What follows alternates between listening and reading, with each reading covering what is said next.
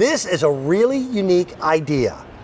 And I get to introduce you to my friends. Ginger Wald is back. How Yes, are you? Welcome. hi. Good Great to see you, Lovey. Uh, she's an exterior designer. Yes. Kind of like an interior designer that is never allowed in the house. Uh, these, these are fake rocks, right. but they they Serve a purpose. They look very realistic. Mm-hmm. And I've got two sizes. This is the medium size, Mm-hmm. and then we have a small.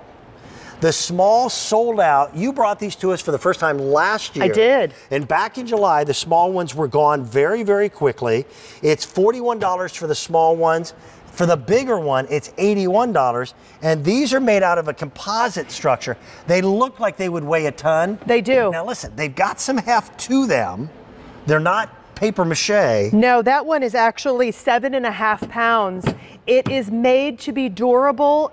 Although it's hollow, it's it's a workhorse in your garden Right. to cover up those unsightly things like what you just showed underneath there. We all have things those. to hide. We all have those tree stumps. We all have those wheel, uh, those uh, wells, you know, covers that you want to cover up. Vince, yep. This is made so that the wind will not blow this over. We have two color choices. We have the gray in both of those different sizes. Uh-huh. And then we also have the tan that is available as well. Now, what we've done with these is we made it look like a real rock. A real rock is not one solid color, Right. it is a gradient of color, and it has different texture to it as well. It is going to be completely hollow so that you can cover those things like electrical little um, places, you know, things in your yard which you would normally probably trip over or, Or- putting or underneath your mower, sprinkler yep. or hit with a mower. Um, let's kind of go down here. I'm going to show you some other I, things I was impressed at how they were molded well, that's the thing. and the yes. way in which they were painted. They're they're very well done. That They are one, very well done. If Even you wait, the small is going to be gone quickly. This is the medium size one. It's made to hold weight too. Not that you would really stand on it, but you don't you have to know the composite of this Okay. is super, super durable.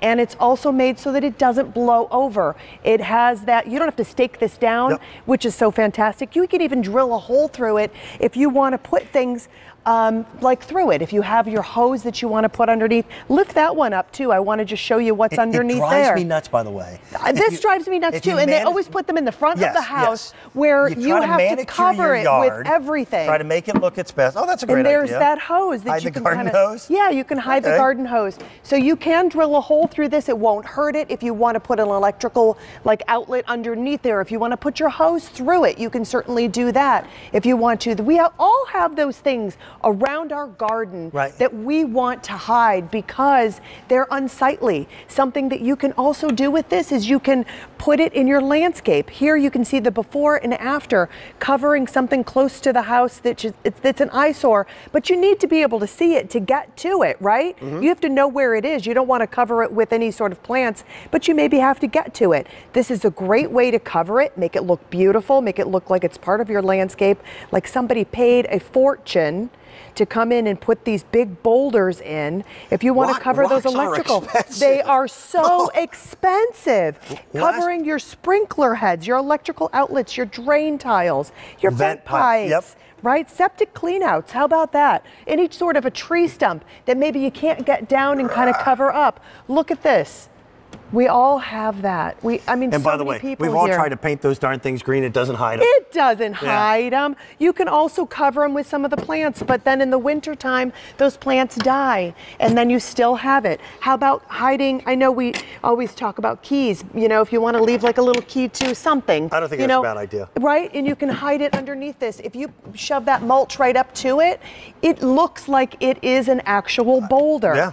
Covering all sorts of things underneath there that you can hide, that you don't have to stow away in your garage. And it's made out of that durable fiberglass composite, and it's also made to look like a real rock. The, the big ones, $81, they're almost two feet from, from front to back. The overall height on these is 14 inches. Yes. The smaller one is going to be about 15 inches from front to back, and that's going to be a little bit 10 and a shorter, half, about yeah. 10 and a half Mhm. inches. 10 and a half. And that's, Smart and that's uh, lighter weight. That's about four pounds.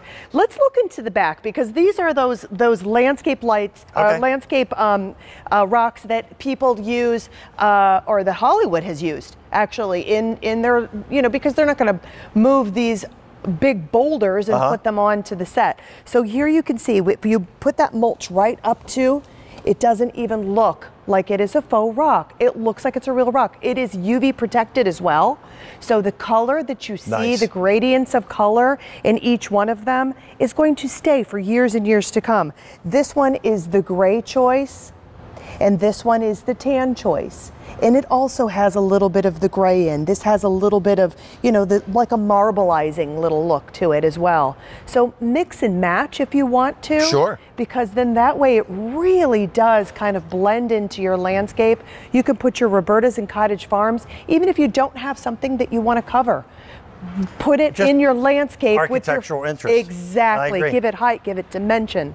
It looks so we, we have a, a quarry that's not too far from our farm, and last year uh, we had to put a new bridge in over the creek because the, the old bridge washed away. Yes. So I had to buy boulders, and they had to bring them in by truck. I was flabbergasted Yes. at how expensive rocks Tell you be. what, they can be absolutely a fortune. Yep. And then once you place them, you can't move them. yeah, that, that's I true. mean, you've really got to make a commitment. This is one of those pieces that you can put it around, you can move it around in your landscape like you move your furniture. You've been to my house. I certainly what's, have. What's the first thing you notice when you come into my driveway? Uh, I thought it'd be great. I had two giant boulders put on each side of the driveway. right. first, first winter there. What do you think I hit? You hit the. Both of them. Both of them. Oh, you did? Yes. Nice. It was icy, and I'm coming home from